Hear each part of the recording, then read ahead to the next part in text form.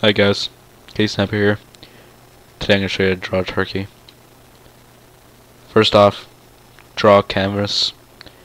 I got this 2000 by 2000 canvas already. 2000 pixels, that is. Make the background any color you fucking want. I'm going to make it fucking pink. Alright. Now, it's obviously going to get a... I'm going to use a huge... Alright. That seems about big enough. Now, you're going to choose the color of a turkey. And you're going to draw him.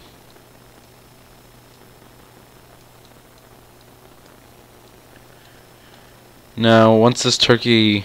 See, I got its feet already. And it might seem to you this is, looks like Big Bird. It does not look like Big Bird. Nobody fucks with Mr. Turkey.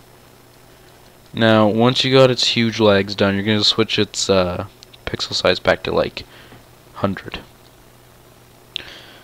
Now, unless you want to be a total douchebag, you're going to pick the same color as the turkey's feet to finish the body. Well, too bad, Mr. Turkey, because I am a douchebag. You're going to be blue. Alright.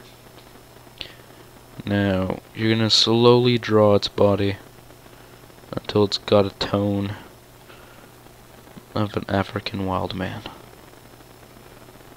Now, once you got that bird done, you're going to draw its eyes. Its eyes are going to be black, like its soul. Alright.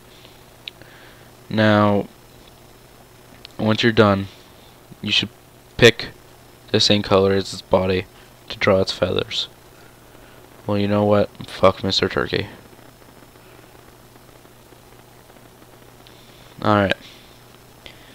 Now you see Mr. Turkey is done.